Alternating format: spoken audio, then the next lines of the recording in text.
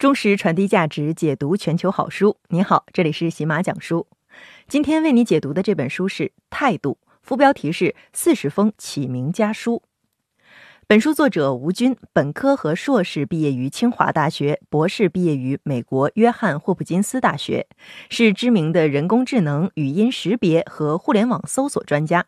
他先后在谷歌、腾讯任职，还创立了自己的投资公司。同时，他还是一名作家，著有《浪潮之巅》《智能时代》《文明之光》等多部畅销书。在吴军的人生经历中，他发现一些起点差不多的人会不断分化，进而拉开人生的差距。而其中起到决定性作用的，就是一个人为人处事的态度。因此，吴军想要将“态度决定命运”这个道理告诉他的两个女儿。二零一六年的时候，吴军的两个女儿，一个刚被美国麻省理工大学录取，一个正读高中，都处于青春叛逆期。如何和青春期的孩子沟通，是一个很大的难题。吴军受曾国藩、傅雷等人用家书和子女沟通的启发，也想到用书信和女儿们交流。一方面，书信能够让双方完整的表达自己内心的想法，不会轻易被打断。另一方面，写信的时候更容易心平气和、深思熟虑，不会说一些冲动伤人的话。《态度》这本书集结了吴军写给两个女儿的四十封信，在信中，吴军针对女儿们的一些问题做出了他自己的分析，并给出了中肯的建议。透过这些分析和建议，你能了解到吴军看待问题的视角、待人处事的方法，以及他对这个世界的见识和态度。希望对你有参考和借鉴价值。下面我将吴军的四十封家书总结为以下五个态度，为你一一解读。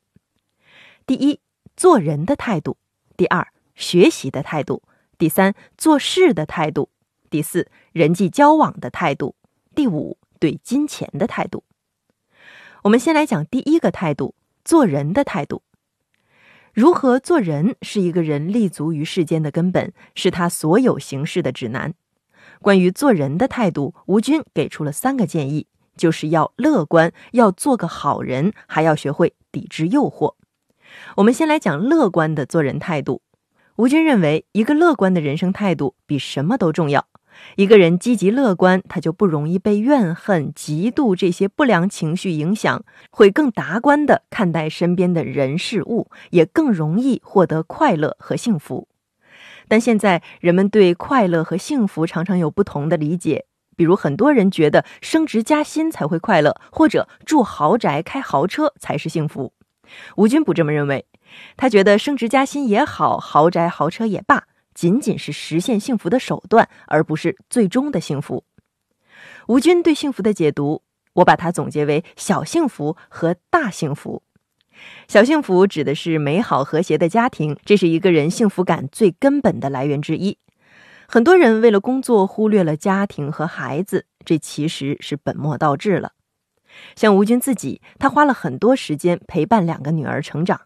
比如，为了给大女儿选一个好大学，他曾陪着大女儿走遍美国名校。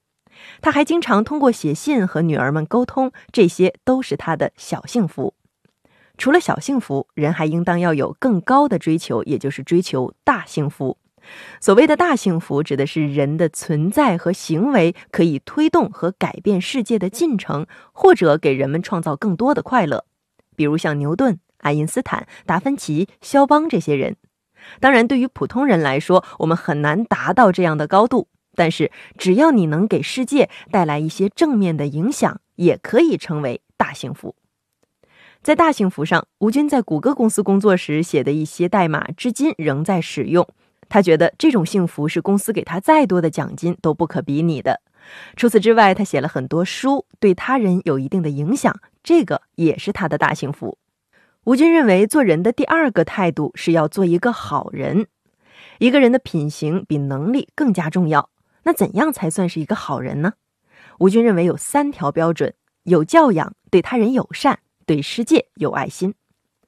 一个人是不是有教养，可以看他在公共场合是怎么做的，是否能做到不大声喧哗、不插队等等；还可以看他在人后是怎么做的，会不会说别人的坏话。在别人背后使绊子，对他人友善也很好理解，就是会尽力去帮助别人。对世界有爱心，则是指一个人是不是能将眼光从身边的圈子移开，关心更多、更广阔的东西，比如山区贫困儿童，或者是环保问题等等。这其实和我们刚刚谈到的大幸福是一脉相承的。一个人对世界有爱心，就会想着给世界留下一些正面的东西。如果能做到这三点，即使生活艰苦一些，内心也会觉得幸福的。吴军教给年轻人做人的第三个态度是要抵制诱惑。人在成长的过程中，经常会面临很多诱惑，比如有些孩子爱玩游戏，每天守着电脑寸步不离，不吃饭不睡觉，完全荒废了学业；有些人年纪轻轻就沉迷于赌博，把家产输个精光。为什么人们会被诱惑呢？你会发现，这些诱惑背后有一些共同点，他们会让人产生不劳而获的念头，还会给人带来一种及时反馈，刺激人体分泌多巴胺，让人变得无比兴奋，欲罢不能。那如何才能抵制诱惑呢？可以从两方面着手。首先要有一个长远的目标，并积极的为实现目标而努力。比如吴军自己也曾沉迷于电子游戏，但是当他决定要出国时，就有了奋斗的目标。为了实现这一目标，他积极努力做准备，就不再玩游戏了。其次是多做一些有成就感、有回报的事情。可能有人要说了，在游戏中刷高分、闯关就很有成就感啊。然而，游戏中的那些高分等级在现实中并没有什么用。而且从统计数据来看，绝大多数沉迷于游戏的人在学业和工作上都不如其他的同龄人。很多人甚至一味的追求游戏中的刺激，失去了在现实生活中工作和学习的热情。那什么才是真正让人有成就感、有回报的事情呢？就是那些能够真正提升你的能力，让你变得更加强大的事情。比如去健身，身体会变得更好；去读书，会获得一些新的知识。就算是用业余时间去打工，也能获得一些金钱上的回报。好，这就是做人的三个态度：要乐观，要做个好人，还要学会抵制诱惑。对于一个年轻人来说，学习是很重要的。接下来，我们再来看第二个态度——学习的态度。吴军自己就是一个学霸，关于学习的态度，他有很多经验可以传授给年轻人。总结起来，主要是四个方面。首先是要脚踏实地，如何做到脚踏实地呢？吴军认为就是要做一个笨小孩。什么是笨小孩呢？学习中很多孩子自认为很聪明，有时候还没有透彻的理解基本概念就开始做题了；还有些孩子一味的图快，特别是在做数学题的时候，经常觉得自己懂了就跳步骤。吴军在检查小女儿数学作业的时候，就发现小女儿有这样的情况。吴军郑重地告诉小女儿，这样的学习态度是错误的。在学习所有学科时，按部就班的笨办法才是好办法。就拿做数学题来说，为什么老师要求一定要按照步骤解题？有些考试还会按步骤给分呢？就是因为一步一步的做题，才能真正理解数学概念是怎么应用的，结论是怎么一环套一环的推导计算出来的，这样才能打好学习的基础。而那些一味想着走捷径的人，在学习过程中反而容易有遗漏和缺失。第二个学习态度是要注重培养自己的逻辑思维能力。如何培养呢？比如学好数学就是培养逻辑思维能力的好方法。就像我们刚刚提到的，做数学题是从一些已知条件出发，一步一步的推导出合理的结论。这中间的每个推理步骤环环相扣，不能凭想象得出结论，而这个过程就是培养逻辑思维的关键。另外，多阅读经典的非虚构类名著，比如科学类、经济类、哲学类等，也能帮助培养逻辑思维能力。因为这类作品通常不会有华丽的辞藻或者是扣人心弦的情节，但是会有严谨的阐述观点的方法和步骤。阅读这类书籍，不仅能够让你学习书中的知识，还能了解作者提出问题、论述问题、解决问题的思路和方法。有了逻辑思维能力还不够，还要有独立思考的能力，这是学习中要注意的第三个态度。关于如何独立思考，吴军的建议是做一个理性的怀疑者，并学会证伪。书中举了这样一个例子：有一个经济学家提出，二十世纪末纽约的犯罪率大幅下降。原因是从二十世纪七十年代起，美国法律不再禁止堕胎，非婚生子的情况大大减少，而单亲家庭的孩子一直都是犯罪率较高的群体。这个观点从正面看，貌似是正确的，就是单亲家庭的孩子减少会降低犯罪率。但是反过来，犯罪率降低就是因为单亲家庭的孩子减少吗？显然不是。首先，并不只有纽约才允许堕胎，也有其他城市允许，但是其他城市的犯罪率没有明显降低。其次，因为法律不再禁止堕胎，纽约在一九八零年到一九九五年出现了堕胎高峰期。在减少了许多非婚生子后，纽约的犯罪率应该大幅下降才对，但是这也没有发生。所以说，法律不再禁止堕胎导致犯罪率大幅下降这个观点是错误的。真正的原因是当时的纽约市长采取了铁腕政策，严厉打击违法犯罪，才降低了犯罪率。除此之外，要想做一个理性的怀疑者，即使是面对科学，也要持怀疑的态度。比如，一九四八年的时候，一位叫做穆勒的科学家研究出了 DDT，这是一种有效的有机杀虫剂。DDT 投入使用之后，全世界的粮食产量都大幅度增长。除此之外，用 DDT 制成的灭蚊药能有效杀死蚊子，而蚊子是疟疾最主要的传播渠道，因此很多地区的疟疾也被彻底消灭了。穆勒因此获得了诺贝尔奖。但是后来人们发现，DDT 对环境的污染很严重。很多鱼类、鸟类濒临灭绝，人类食物被 DDT 污染的农产品、水产品，轻则肠胃不适，重则身患癌症。于是，在二十世纪八十年代，世界各国逐渐开始禁用 DDT，灭蚊药中也不允许再添加 DDT，结果导致很多非洲贫困国家的疟疾卷土重来，每年有一百多万人死于疟疾。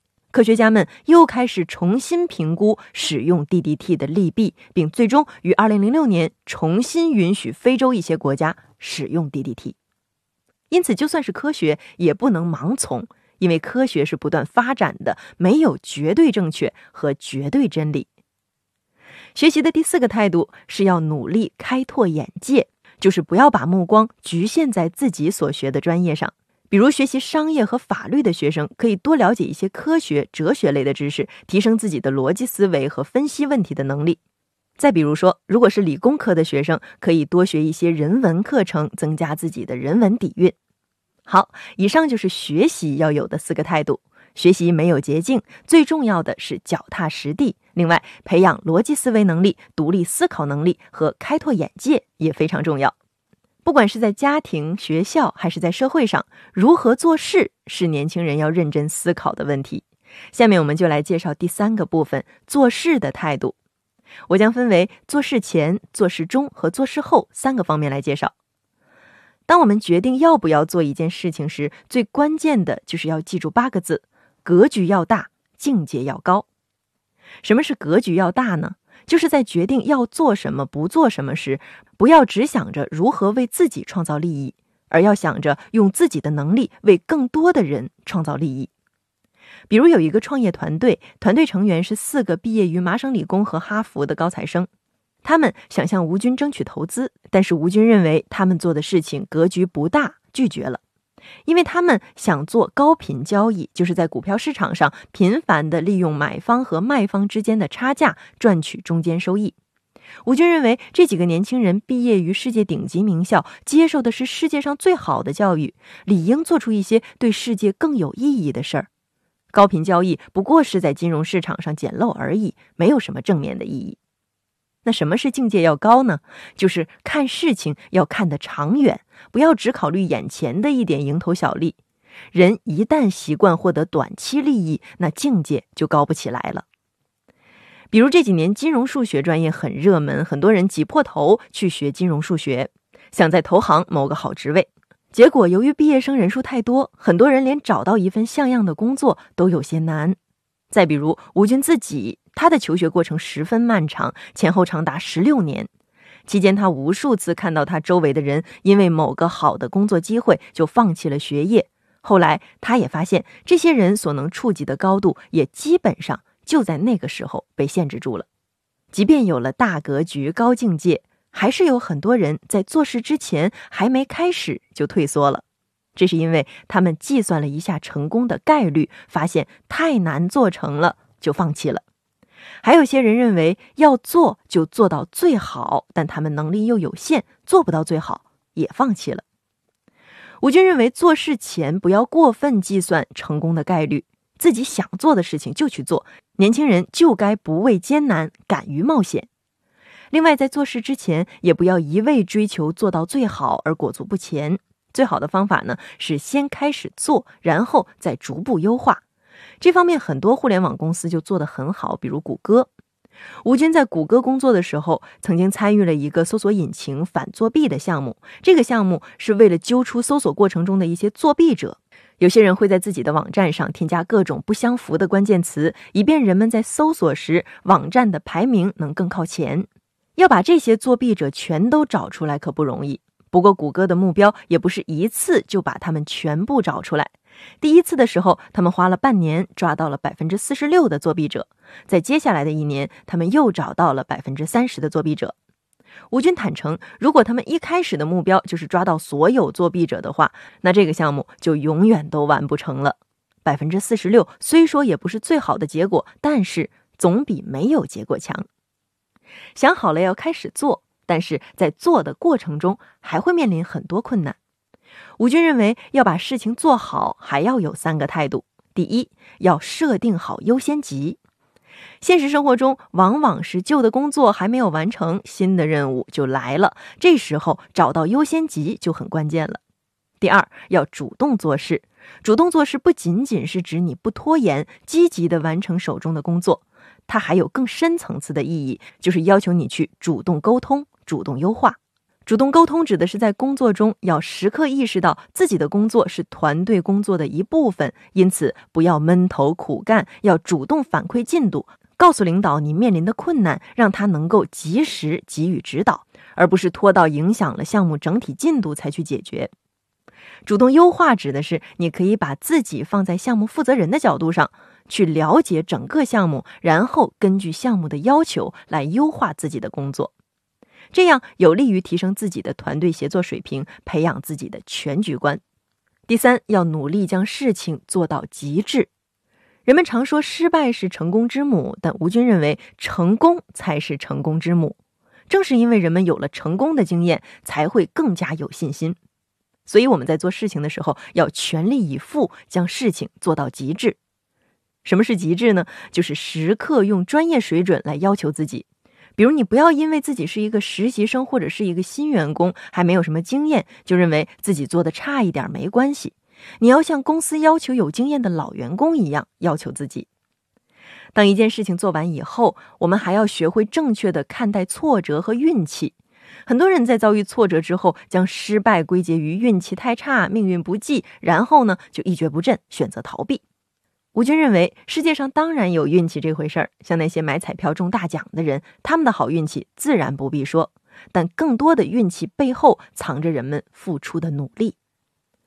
吴军在做事之前会假设自己将遇到比别人更差的运气，但他还是想要把事情做成。那该怎么办呢？那就做比别人更充分的准备。所以，外人认为他的那些好运气，其实是他付出的双倍甚至更多的努力。好，做事的态度就介绍完了。要想做好一件事，做事前格局要大，做事时要学会排优先级，还要有主动做事的态度，并全力以赴达成目标。做完事后要正确的看待挫折和运气。但不管是学习还是做事，都绕不开和人打交道。接下来我们就来讲第四个态度：人际交往的态度。吴军认为，在人际交往中有三点很重要。第一是不要怕吃亏，第二是要学会识人，第三是要学会拒绝他人。先来看第一点，不要怕吃亏。吴军认为，与人交往最重要的是真诚，不要怕吃亏。毕竟人无完人，不要一味的苛求他人。对待真心的朋友，自不必说；对那些优点和缺点都很明显的人，也要真诚以待，要尽可能的去团结他们。不要有洁癖，觉得别人不符合自己的喜恶，就完全否定他人。比如说，有些人业务能力强是强，但是为人自私，我怎么去团结呢？有一个诀窍是对事不对人。大家都在一个团队里，那就意味着有共同的目标和共同的利益。如果他能做好分内的工作，发挥他的能力，那你就不要去否定他这个人。但是一个人周围总会有形形色色的人，有些是真心的朋友，有些是会损害你利益的小人。对小人要尽可能远离，绝对不要给他多次伤害你的机会。因此，学会识人很重要，这是人际交往中的第二个重要态度。那么，生活中我们应该怎样识人呢？第一，要看一个人和你交往的动机如何。我们可以观察这个人是如何对待身边的人的。如果他对别人刻薄，只对你好，那你就要提高警惕了，是不是因为你手中有他需要的东西？但有些人的动机藏得很深，不容易区分。吴军有一个简单的办法，就是坚决止损。吴军说他自己是一个不擅长分辨别人动机的人，他就索性不去分辨。假设每个人都是好人，但是如果谁伤害过他一次，他也不会再给这个人第二次机会了。第二，想防范小人，首先你自己就要戒除贪欲。因为往往是因为你自己有贪欲，所以当你遇到那些无缘无故对你特别好的人，才会失去警惕。比如那些勾搭你去做传销的人，是因为你自己就抱有一夜暴富的梦想，才会被他们的说辞打动。第三，还要观察这个人的生活圈子。中国有句老话叫做“物以类聚，人以群分”。如果他的周围都是道德沦丧的人，那他自己也好不到哪儿去。人际交往中的第三个态度是要学会拒绝他人，因为总是无条件的答应他人的求助，可能会消耗掉你大量的时间和精力，最后有可能事情没办成，双方都闹得不开心。那什么时候该果断拒绝他人呢？吴军针对不同的情况给出了不同的建议。第一种情况，如果这个人是你的朋友。你很想帮忙，但是自己帮不了，那就不要勉强，要在第一时间告诉对方。很多人可能会说，那这样朋友不是会很失望吗？是的，他或许会失望，但是你早早的拒绝他，他还能想其他的办法。如果顾着面子采取拖延战术，很可能会耽误对方的事，最后连朋友都没得做了。第二种情况，如果朋友提出的帮忙你有能力帮，但是没有十足的把握，这时候要将实情告诉对方，不要轻易打包票，要让对方来评估是让你继续还是另想办法。很多人一开始努力了，但是事情没有成，仍会觉得自己没有功劳也有苦劳。然而实际情况却是因为你打了包票，对方没有再做后备方案，最后可能耽误了大事儿。第三种情况。如果请你帮忙的人和你不太熟，你虽然帮得上，但付出的代价太大了，你不想帮忙，那你也不要勉强自己，要第一时间回绝他。人际交往是一个复杂的事情，当别人请你帮忙时，对方和你的关系以及请求事情的难易程度都会让你有不同的考量。但最重要的是要有一个真诚的态度，不要夸大自己的能力，也不要违背自己的本心。好，以上就是第四个态度，人际交往的态度，对人真诚，不怕吃亏，学会识人，以及适当的拒绝他人，能让你在人际交往的过程中少掉很多烦恼。接下来我们来讲第五个态度，对待钱的态度。吴军对待钱的态度可以总结为两句话：第一，不要乱花钱，也不要乱省钱；第二，让钱生钱，还要让钱发挥更大的作用。我们先来说，不要乱花钱。年轻人一定要坚持先赚钱再花钱，这个顺序绝对不能颠倒过来。现在很多人向大学生推销信用卡、校园贷，这是极其不负责任的行为。让还没有赚钱能力的学生提前享用好的东西，美其名曰提前消费，其实就是早早的让学生变成金钱的奴隶，这并不利于他们养成良好的金钱观。那什么是乱省钱呢？比如有些人为了省钱，遇到紧急事情也不舍得打车，坚持坐公共交通，最后耽误了大事，得不偿失。还有些人为了省钱，想报的提升班也没有报，这也是不对的。吴军希望年轻人能够从大处着眼，从自身的需求出发，该花的钱大胆花。有了钱以后，要学会用钱生钱，也就是要学会投资。怎样投资呢？去炒股，去买基金，还是存银行？吴军认为，各种投资方法，年轻人都可以去尝试，但是一定要注意，不要过于冒险，也不要去盲目进行自己不懂的投资。吴军还建议年轻人可以拿三分之一的钱去投资指数基金，这个方法也是巴菲特给普通投资者的建议。比如美国的标准普尔五百指数基金，每年有百分之七十的基金的表现都不如它。如果把时间拉长来看，在五到十年的时间之内，有百分之八十的基金表现比它差。因此，巴菲特在遗嘱中特意注明，他的遗产中的绝大多数要用来购买标准普尔五百指数。这个指数在咱们中国比较类似的，也有上证五十指数或者上证三百指数。最后，当你真的有一天赚到了大钱，实现了财务自由，要学会让钱发挥更大的作用。吴军认为，人不能过于守财。他希望年轻人在有钱以后能够回馈社会，利用财富做一点其他人没有做或者做不到的事儿。比如，谷歌最早的工程副总裁韦恩·罗辛，他一直对天文望远镜很感兴趣。在谷歌上市，他实现了财务自由之后，他建立了一个叫做拉斯康柏瑞斯的全球联网的天文台。之后，这个天文台在两个重大天文发现中起到了关键作用。一个是证实了引力波的存在，另一个是发现了可持续爆发的超新星，这就是他对社会的贡献。其实这又回到了我们一开始吴军对幸福的定义：做一些对他人、对社会更有意义的事儿。好，第五个态度对金钱的态度也介绍完了。年轻人要有正确的金钱观，不乱花钱，也不乱省钱，还要学一学怎么正确的积累财富和运用财富。在当今人人大喊着焦虑丧的时代，吴军的这五个态度或许会让你有不同的收获。你会发现，除了眼前的升职加薪，你还可以做一些更大的、更有影响的事情。你会发现，在人人都想做一个聪明人的时代，做一个笨小孩或许走得更远。你会发现，人们总想着把事情计划的万无一失再开始，却忘记了最好是更好的敌人。你会发现，真诚的拒绝别人之后，你也轻松，别人也轻松。你还会发现，对待钱的态度也反映了你对待人生的态度。这些不同态度，也许最终决定了你和别人。完全不一样的人生。好，态度就为你解读到这里。听书笔记在音频下方，我们明天见。